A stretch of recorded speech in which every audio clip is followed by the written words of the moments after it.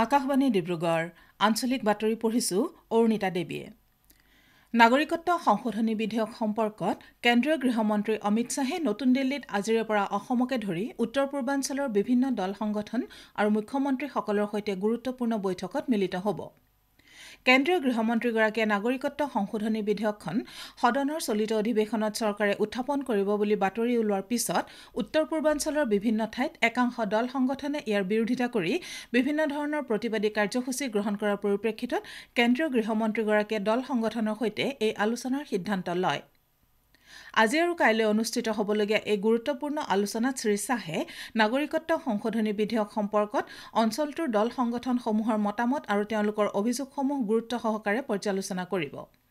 তেওঁ অসম আৰু উত্তৰ পূৰ্বাঞ্চলৰ আটাইকেইখন ৰাজ্যৰ মুখ্যমন্ত্ৰীসকলৰ লগতো বিষয়টোলৈ আলোচনা কৰাৰ অন্তত নাগৰিকত্ব সংশোধনী বিধেয়ক সম্পৰ্কত কেন্দ্ৰীয় চৰকাৰৰ পৰৱৰ্তী স্থিতি সম্পৰ্কে সিদ্ধান্ত ল'ব পাৰে বুলি জানিব পৰা গৈছে। ৰাজ্যৰ বিত্তমন্ত্ৰী ডঃ হিমন্ত বিশ্ব শৰ্মাই কৈছে যে ৰাজ্যত শেহতীয়াকৈ ৰাষ্ট্ৰীয় নাগৰিক পঞ্জীখনৰ প্ৰস্তুতৰ সময়ছোৱাত সংশ্লিষ্ট বিভাগটোৰ জৰিয়তে ব্যাপক বিত্তীয় খেলিমেলি হোৱা বুলি মহালেখা গাণনিক আৰু নিয়ন্ত্ৰকে স্পষ্ট কৰি দিছে। কালি দিছপুৰত সাংবাদিকৰ সৈতে হোৱা কথা বতৰাত বিত্তমন্ত্ৰীগৰাকীয়ে কয় যে এন আৰ চি প্ৰস্তুতৰ সময়ত বৃহৎ পৰিমাণৰ বিত্তীয় খেলিমেলি হোৱা বুলি মহালেখা গাণনিক আৰু নিয়ন্ত্ৰকে তেওঁলোকৰ প্ৰতিবেদনত উল্লেখ কৰি ইতিমধ্যে অসম চৰকাৰৰ হাতত প্ৰতিবেদন দাখিল কৰিছে। মন্ত্ৰীগৰাকীয়ে কৈছে যে গাণনিক আৰু নিয়ন্ত্ৰকৰ তথ্য চৰকাৰে লাভ কৰাৰ পাছত নাগৰিক পঞ্জীখন সম্পূৰ্ণ হৈ নুঠা পৰ্যন্ত এই বিষয়ে কোনো সিদ্ধান্ত গ্ৰহণ কৰা হোৱা নাছিল যদিও বৰ্তমানৰ চলিত অসম বিধানসভাৰ অধিৱেশনত ইয়াৰ সবিশেষ ৰাজহুৱা কৰা আৰু বিহিত ব্যৱস্থা সম্পৰ্কত প্ৰকাশ কৰিবলৈ চৰকাৰে সিদ্ধান্ত গ্ৰহণ কৰিছে।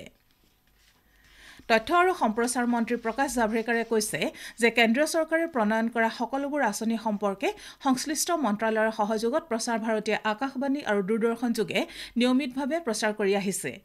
মন্ত্ৰীগৰাকীয়ে কয় যে কেন্দ্ৰীয় চৰকাৰৰ সকলোবোৰ নীতি আৰু কাৰ্যসূচীসমূহ প্ৰচাৰৰ দায়িত্ব তথা তথ্য আৰু সম্প্ৰচাৰ মন্ত্ৰালয়ে ইয়াৰ অধীনত থকা প্ৰেছ ইনফৰমেশ্যন ব্যুৰ আৰু ব্যুৰ অব আউটৰিচ এণ্ড কমিউনিকেশ্যনক দিয়ে আৰু পি আই বিয়ে চৰকাৰৰ আঁচনিসমূহ আৰু ধ্বজাবাহী কাৰ্যসমূহৰ বিষয়ে সুচাৰুৰূপে প্ৰচাৰ চলাই আহিছে।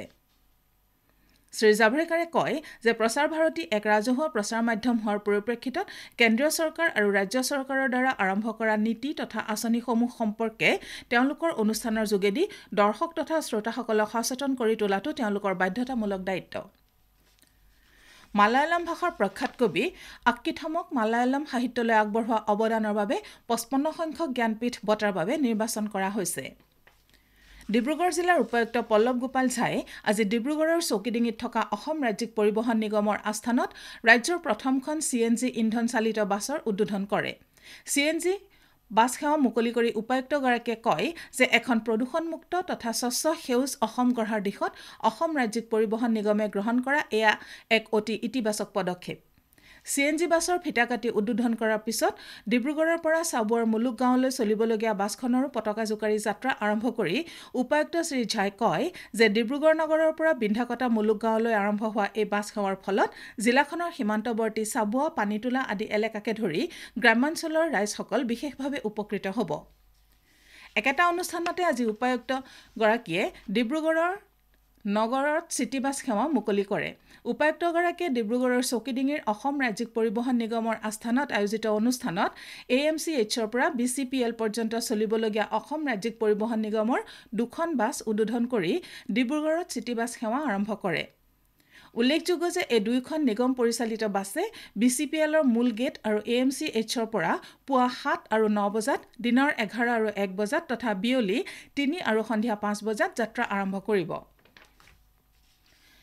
ডিব্ৰুগড় জিলাৰ জিলা আৰু ছেছন ন্যায়াধীশ সুস্মিতা ফুকন খাউণ্ডে আজি নাহৰকটীয়াত মহকুমা ন্যায়িক দণ্ডাধীশৰ আদালতখন মুকলি কৰে। আজিৰে পৰা কাম কাজ আৰম্ভ হোৱা আদালতখনত জয়পুৰ নামৰূপ আৰু নাহৰকটীয়া থানাৰ অন্তৰ্গত সকলো ধৰণৰ গোচৰৰ মীমাংসা কৰা হ'ব। ক্লিয়াৰ লেন্স মিডিয়াৰ উদ্যোগত প্ৰকাশিত পষেকীয়া সংবাদপত্ৰ খবৰ চাৰি দিশৰ কাইলৈ চতুৰ্থ বৰ্ষপূৰ্তিৰ অনুষ্ঠান নাহৰকটীয়াৰ নামফাকেত অনুষ্ঠিত হ'ব। এইবাৰৰ অনুষ্ঠানত খবৰ চাৰিদিশ অনুপ্ৰেৰণা বঁটা আগবঢ়োৱা হ'ব যুৱ সমাজকৰ্মী আৰু অসমীয়া উদ্যোগী গৌতম বৰদলৈলৈ। পষেকীয়া কাকতখনৰ প্ৰতিবছৰে বৰ্ষপূৰ্তি উপলক্ষে অইল ইণ্ডিয়া লিমিটেডৰ সহযোগত আয়োজন কৰি অহা বিশেষ আলোচনা সদনৰ এইবাৰৰ আলোচনাৰ বিষয় ইন্ধনৰ সংৰক্ষণ প্ৰত্যাহ্বান আৰু জনসাধাৰণৰ অংশগ্ৰহণ। আজিৰ আঞ্চলিক বাতৰি ইমানেই।